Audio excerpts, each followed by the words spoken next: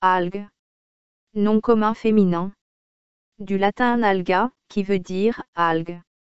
Végétal aquatique poussant sous l'eau, par opposition aux nénuphars, pouvant appartenir à des groupes phylogénétiques très différents, polyphylétiques et capables de photosynthèse, donc autotrophes.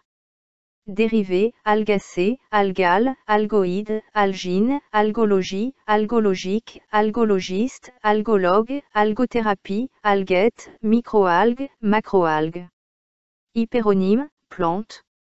Hyponyme, algues bleues, cyanobactéries, algues brunes, chromophytes, algues rouges, rhodophytes, algues vertes, ulve, fucus, goémon, varech.